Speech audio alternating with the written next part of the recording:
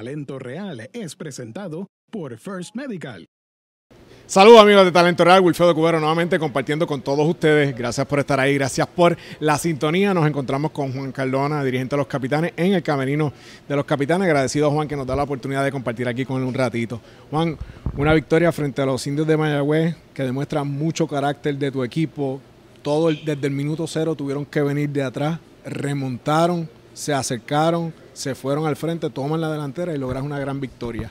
gracias, eh, Wito, siempre por la oportunidad eh, de poder hablar y expresarme. El crédito con total va para el staff, para mi staff y para los jugadores. Eh, no, por algún momento, ¿verdad? No encontrábamos el ritmo, especialmente la primera mitad. Seguimos moviendo personas, todo el mundo que, ¿verdad? Ya sea por buenas vibras, el que jugó, el que a lo mejor no jugó mucho, eh, estaba empujando para el mismo sitio y es lo que, lo que pasa cuando un grupo quiere hacer las cosas. Háblame del trabajo de David Stockton, 33 puntos, 11 asistencias, vuelve a meter el balón grande cuando el reloj va bajando. Ya me habías dicho que te deja dormir tranquilo, pero háblame de, lo que hizo al final del juego y cómo lo ejecutó. David, yo peleo con David porque los otros días en Mayagüez pues, pues, no, no buscó la bola, tuvimos una conversación ayer eh, y obviamente es es el director de la orquesta ¿verdad? Para que las cosas tengan orden, todo tiene que estar en orden. So, nosotros lo trajimos a él para que sea el mariscal de campo. ¿Qué pasa? Que David, David es un jugador que puede tanto anotar como facilitar, ¿verdad? 33 y 11 hoy. Y obviamente es un, jugador que, al final del juego debe tomar la decisión y, Juan Cardona va a estar bien con lo que él decida, ¿verdad? Eh, dentro de la estructura de lo que hacemos. Pero el grupo le permitió poder cerrar el juego, que es, como, como yo siempre le digo, para que David Plomer, Víctor Lee, los jugadores que, que tienen muchos toques puedan ser grandes, el grupo tiene que ser grande.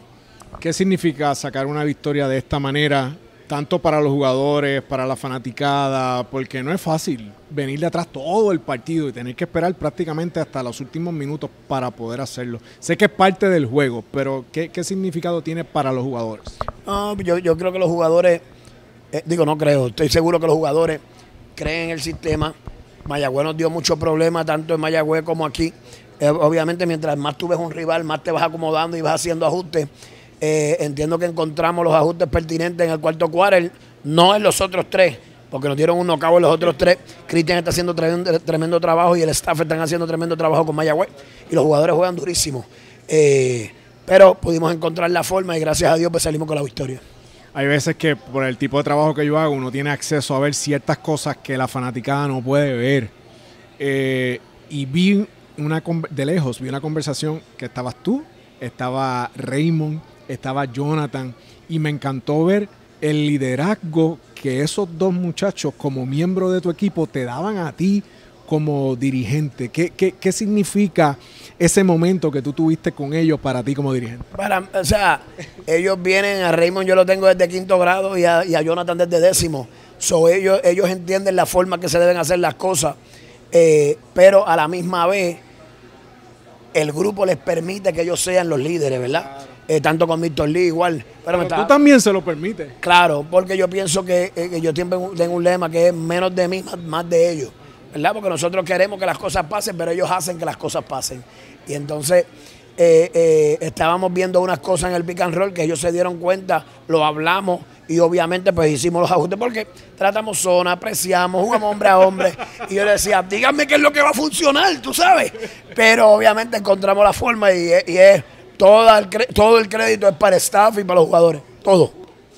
Juan, el partido fue complicado y vi que en la segunda parte del encuentro, pues Okafor, que está recién llegado al equipo, no, no vio acción. Sé que él está en un proceso de adaptación, pero cuán difícil es dejarlo en el banco en un momento complicado del juego. Es bien difícil, es bien difícil porque es el jugador que puede cambiarte el juego, ¿verdad? Y con, la, con, con su corpulencia y su físico, pero eh, la energía obviamente a lo mejor porque no tiene las piernas, porque lleva dos semanas fuera, eh, no es la que yo necesito y obviamente tanto es para el 1 como para el 15, los estándares son los estándares, pero no deja de ser un excelente jugador y obviamente tenemos que buscar la forma de que él haga clic con nosotros.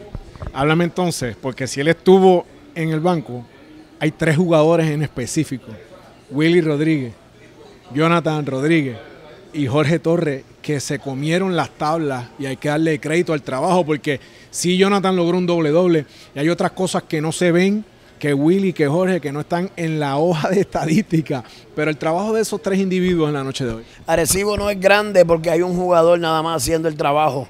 Eh, Arecibo es un colectivo.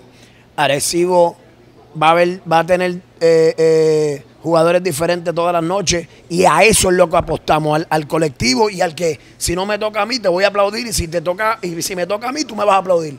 Y de eso es que se trata, así que tan es así, la, la energía de Juan Pablo y Raymond fueron contagiosas hoy y es lo que te digo, sabes, nosotros el que el que quiera hacer el trabajo esa noche o al que le toque, no el que quiera porque todos quieren, pero el que le toque pues mira, mi hermano, eh, eh, eh, nosotros vamos a aplaudirte porque se trata de seguir sumando victorias en el proceso. El próximo partido contra los criollos del Cagua, los dos líderes del torneo del baloncesto superior nacional se ven por primera vez.